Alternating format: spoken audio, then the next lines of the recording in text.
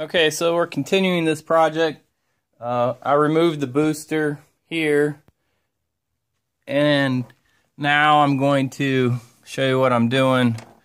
I there were a couple lines coming up from the bottom, uh, the original hydraulic lines, more than long enough. You can see down here, this bracket is where proportioning valve is going to mount.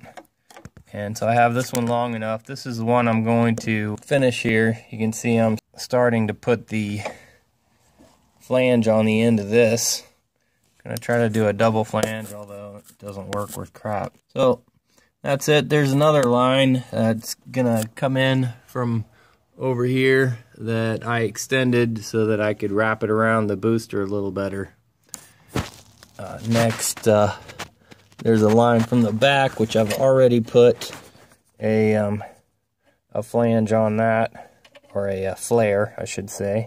That is what we're doing. So that's going to be four.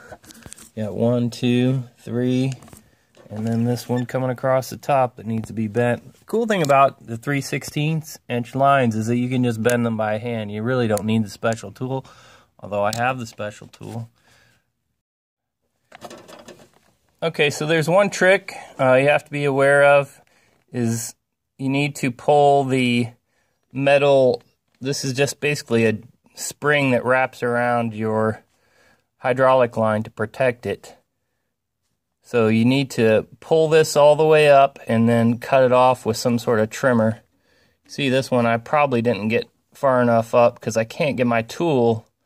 This one is down the proper length because I've already finished this one and you need to get the tool under here in order to create the flange.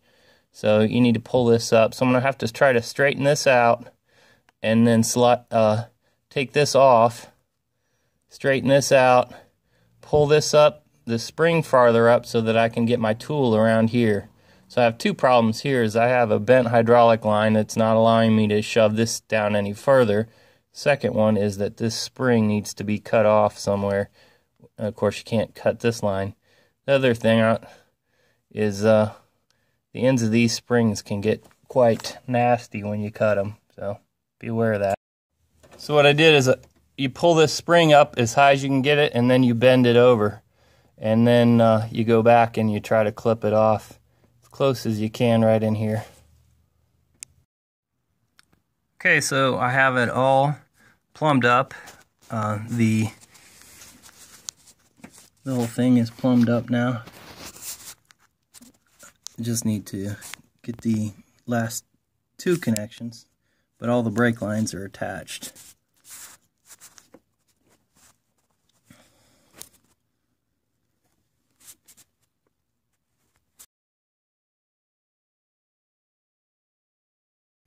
All right, so now I have everything uh, plumbed up completely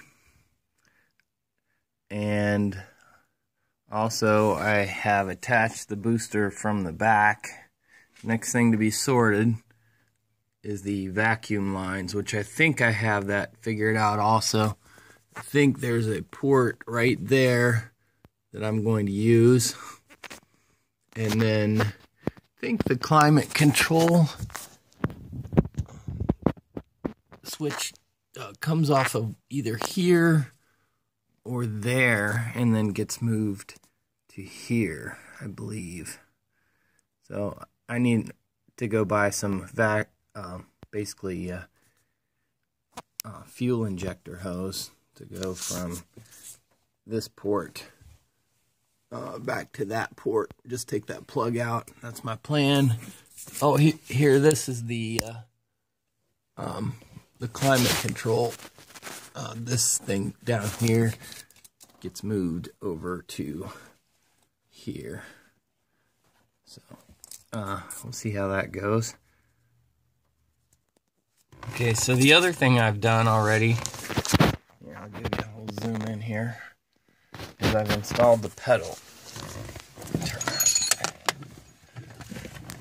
So up here on the pedal, there's a cross. This is the axle that I was talking about earlier. Right in here. This axle, there's a nut. There's a, um, over here. I think it's a 15 millimeter. I installed that and at the same time I replaced the clip that I showed you earlier right in here. And then there's a uh, brake pedal sensor that bolts onto the back up in here. So that's been installed. So now the brake pedal is somewhat working. Still need to attach the entire steering column. As you can see, it's still laying on the seat. So. All right, so now I've I've put my intake manifold back on, and uh, that just consisted of these four bolts, one, two, three, and then there's one behind the coil back in here. I put a 115 inch pounds of torque on those four bolts, and then there's four bolts that hold on the coil. One, two, three, four. Put those on. Added back on this bolt up here. And then there's one it's all the way in the back behind the uh, intake manifold back in that area. Now I'm going to move on to the steering column. Okay, the the other thing that needed to be done was to add this vacuum line. It's a little dark. Um, that runs from the booster here. So this thing runs from the booster to the back of the upper intake manifold. There was a cap on that previously, and I removed the cap. And then I put that cap on top of this uh, outlet here to block this port. Uh, the only remaining thing that I haven't done is this, which on a manual car runs to the heater controls. So I have to figure out uh, where that's located. It's supposed to be located um, back here, and there is there is a vacuum line that runs off of here, but it is not the one that I expected it to be. You can see I have Let's move on to the steering column. Here's the steering column. There's two of the mounting locations for it. And the other two are located down in here. Let's see if I can get some better light on that. So they're right there. So this is the steering column assembly. I'm going to attempt to put that back on. There are four bolts that hold it on. One, two.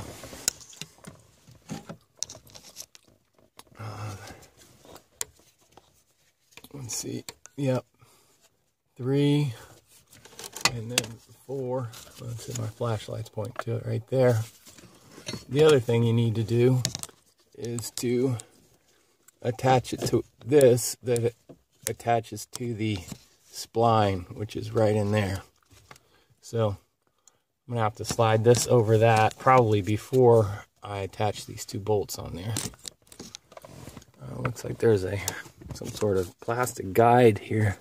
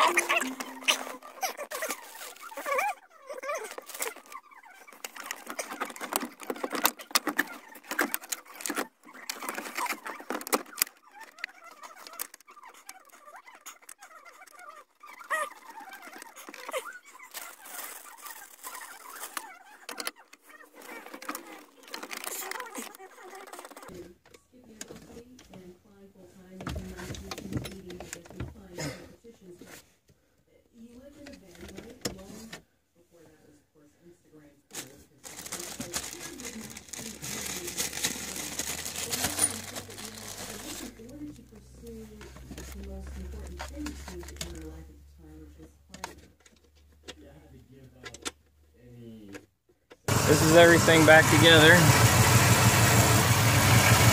Is not running, not removing the uh, environmental uh, vacuum line that goes to the heater control.